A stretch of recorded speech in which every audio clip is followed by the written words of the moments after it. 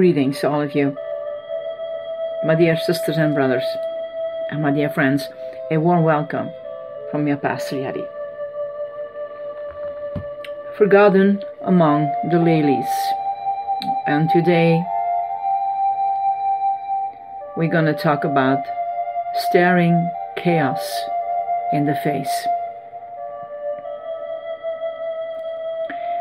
We live in a pain we live in pain and division in the world, in the church, and within ourselves.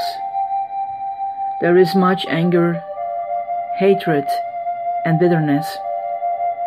It seems ever harder to live at peace with each other, to be calm, to have simple joy within our lives, and not to alienate someone just by being. Within ourselves, despite the fact that we have virtuality, every practical reason to be happy, friends, health, material influences, we experience anger, jealousy, and woundedness. Seldom are we satisfied Seldom are we truly free of bitterness, anger, and feelings of being slighted and overlooked. Very seldom are we fully at peace with life and with others. Beyond this, we live in a world that is full of painful division. It has its own wounds poverty, social injustice, the inequality, equality, inequality of men and women, racism, abortion, sexual exploitations, narcissistic jumpies, untrustworthy political leaders, and simply millions of persons caught up in a excessive self-interest. It is hard for us as adults in our world to simply love, be understanding, and be at peace with others and with life. We are wounded within and without. The temptation is toward bitterness, anger, withdrawal, and paranoia. That is the road to hell because bitterness is hell. What is needed to stop our slide toward this is reconciliation at every level. What is reconciliation? It is reality that admits many levels.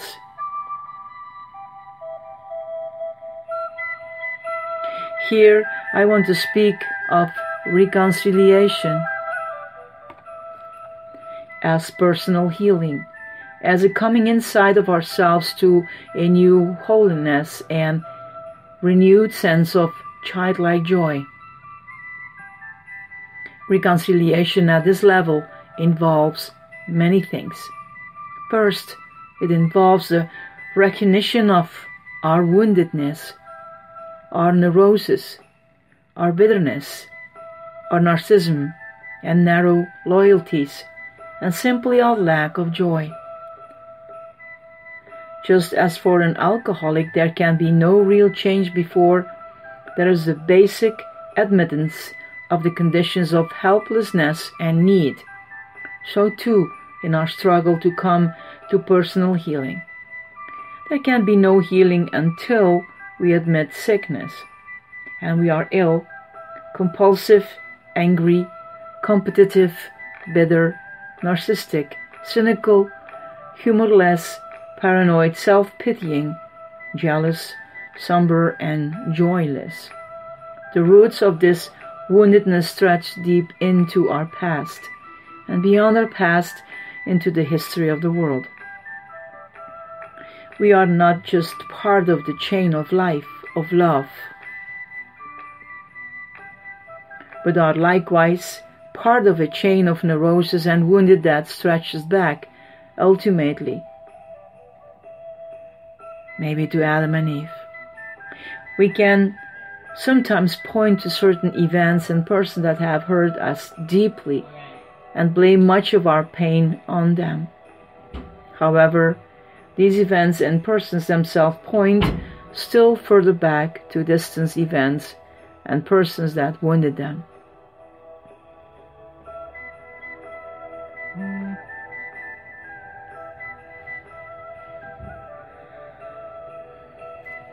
Reconciliation begins when we truly admit this. So long as we pretend otherwise, it is not even meaningful to use the word.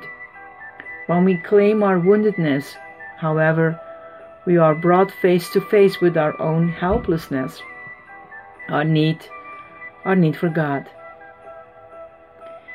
Then, as Henri Nouwen puts it, our hearts become the place where the tears of God and the tears of God's children can merge and become tears of hope.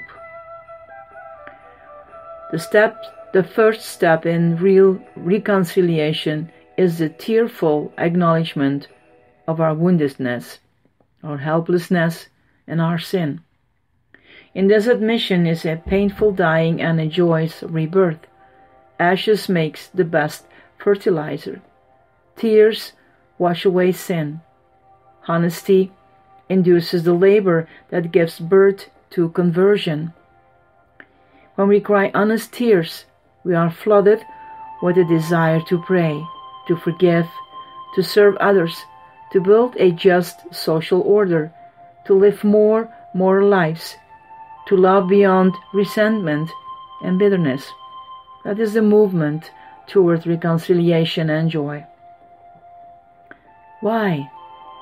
Because searing honestly brings us face to face with our own woundedness and helplessness. Our helplessness, in turn, brings us face to face with the redeeming God. In that encounter, we learn that we are loved sinners. Gratitude is born, a genuine sanctity follows. Gratitude is the key to all. We come to personal healing and to reconciliation with others to the exact extent that we are warmed and vitalized by gratitude.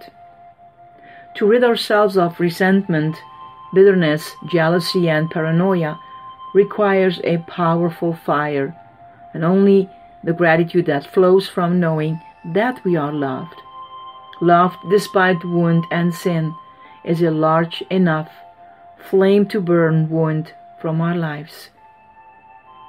The rest follows when we are vitalized by gratitude. We will automatically move toward deeper prayer, wider loyalties, and more embracing heart. Reconciliation begins when we stare our chaos in the face. In that, we will be brought face to face with our helplessness and our need for God. Prayer will then begin, crying out from the very depths of our being. We will be laid bare and will realize that we are loved sinners in solidarity with other loved sinners like ourselves. Gratitude reconciliation, and healing will follow.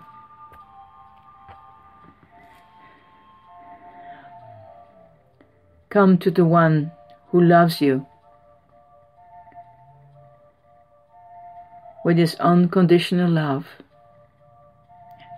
That is the beloved Lord, our shepherd, Jesus Christ. May you find peace within, my dear ones. This is your Pastor Jetty. God loves you, my dear ones. Bye.